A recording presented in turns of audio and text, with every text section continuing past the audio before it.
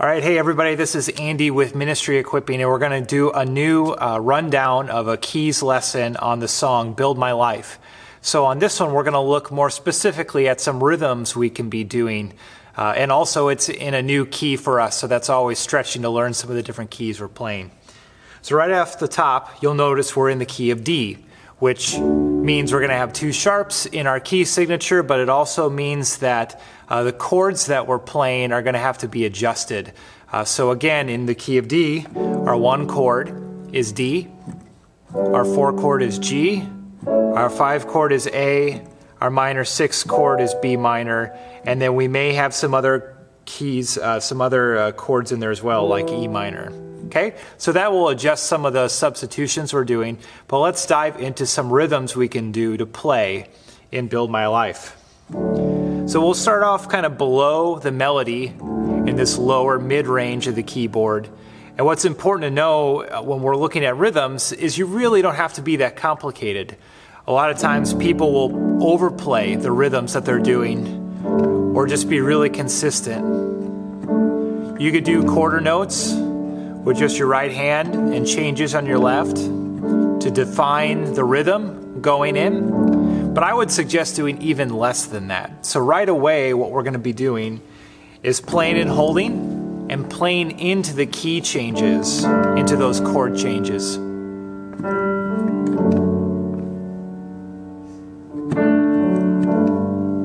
So I'm wanting to play on the one, two, three, and four, and one, two, three, and four, and one, two, three, four, and one, two. So that's a really common way to play a rhythm is not a constant pattern that's going, but play, hold, or do something simple, play into the next chord change, and then hold there. That's going to really help emphasize the harmonic changes, but it's also going to give a more interesting rhythm than something that goes over and over again.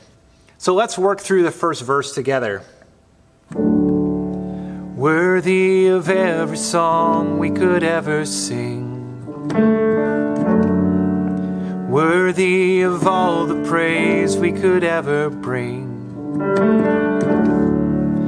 Worthy of every breath we could ever breathe. We live for you. You can always play more when there's not a melody line over the top. Jesus, the name above every other name. And Jesus, the only one who could ever save. Worthy of every breath we could ever breathe, we live for you. Oh, we live for you.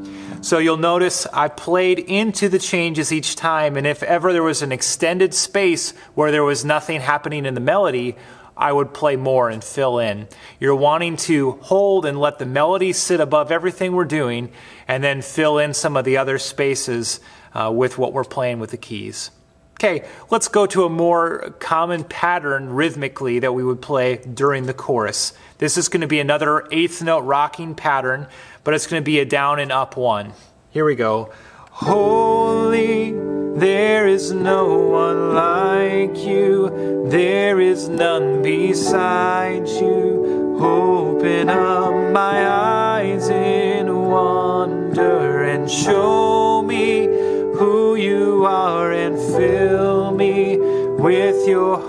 and lead me in your love to those around me.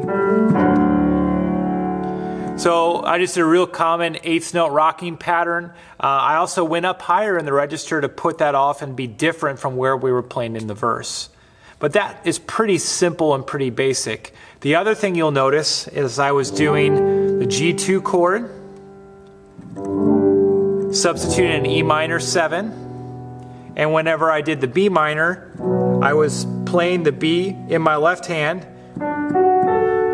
with the minor 7 chord in my right, not playing the root note in my right hand. So that looks like a D major chord over a B minor. Okay? That's how we're going to substitute all of our minor 7 chords is play the chord in your right hand without the root and let your left hand cover the root. Okay, now we get to do some other part where we get this lead line going on in Build My Life. Here's how that would go. And I'm just going to play open octaves with the fifth in the middle in this instrumental part that just goes repeated like this.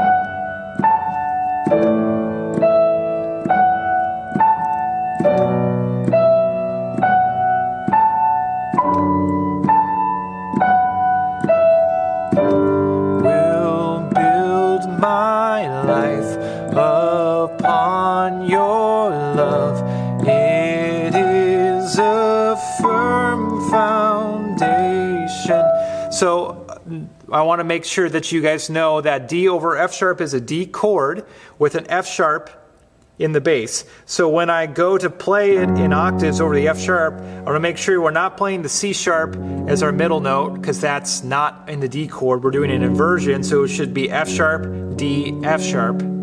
Okay? So that's how we might play that lead line over top, which is just D, E, F sharp, A over and over again until that last measure, B, A, F sharp, E. The last thing I'll show you guys is how we might build that uh, bigger in the bridge. So we might play that melody line over top with it, I will build my, at the first part. But as we want to get bigger, I'd suggest coming down and start playing more. Uh, so, one thing I'll teach you here is how to do a straight build. Whenever we're doing a straight build in worship, it's a way to keep, kind of build energy, be really deliberate uh, into a new section. And what'll happen is we'll kind of, we'll start pulsing on a regular rhythmic pattern that's not changing. And then it'll grow in intensity. So we're going quarter notes, three and four and one and to eighth notes. You can rock it or you can just play it. Shaken holy, there is no one like. So we can go quarter notes, quarter notes to eighth notes. Uh, depending on the straight build, you could possibly go to 16th notes or something more. And you can, what I'll do a lot is hold with my pinky and then play the whole chord with my thumb and my left hand and then also my right hand.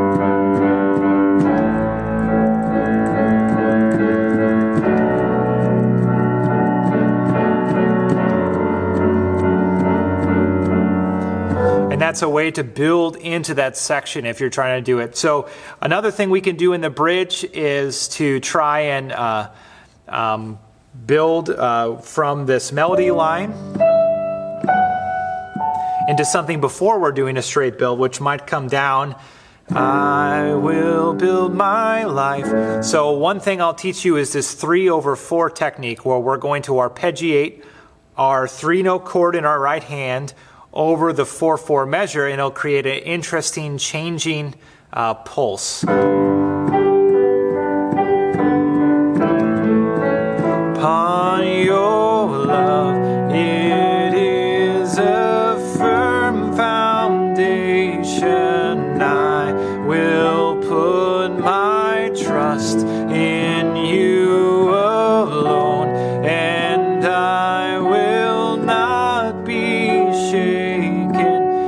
Double that if you wanted to with 16th notes. I will build my